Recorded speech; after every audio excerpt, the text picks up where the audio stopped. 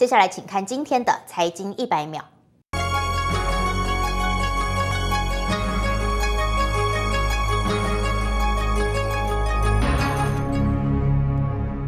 近来市场对中国经济前景忧虑加深，而且人民币汇率单向升值神话破灭，投资人变得谨慎。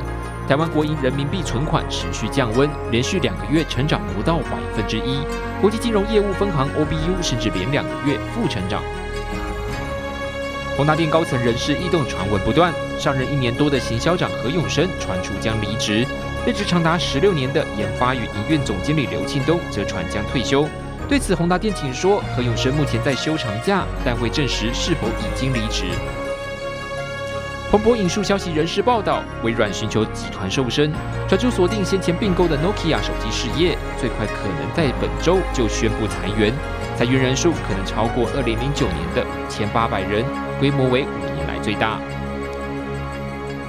移动通讯服务公司 Line 已向东京证交所提交 IPO 申请。